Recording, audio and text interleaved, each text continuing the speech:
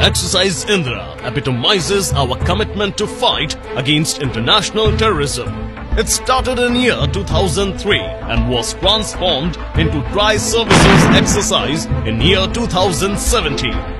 In Indra 2019, a joint combat group will be formed out of Indian and Russian contingent carry out tactical level maneuver.